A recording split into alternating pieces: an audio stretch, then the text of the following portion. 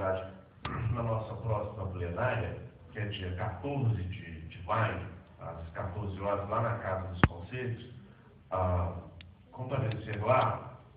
No caso, vamos estar nesse dia, vamos colocar em pauta, amanhã tem uma reunião lá para a gente fazer a pauta de maio.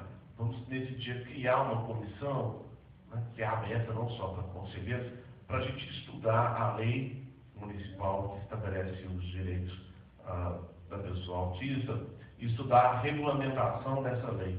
Como é que nós vamos regulamentar essa lei que no município o conselho vai estar lá junto com vocês, né?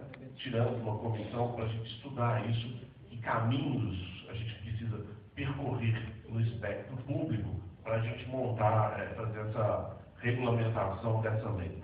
E outro compromisso que o Conselho pode assumir é a gente discutir com a sociedade, com vocês, sobre a criação desse centro de referência.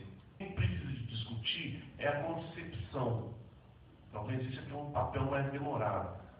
Se esse centro vai ser gerido pelo poder público, vai ser um centro no qual o poder público vai passar recursos, mas uma ONG, uma instituição, uma associação que vai fazer a gestão, vai ser um centro meio híbrido, vai ser um centro colaborativo, onde trabalharão mistura de profissionais com voluntários, discutir qual modelo, qual concepção a se criar esse centro de referência ou esse, centro, ou esse espaço para pais e mães de pessoas com deficiência. No caso aqui, o autismo, talvez a gente possa até um pouco ampliar isso.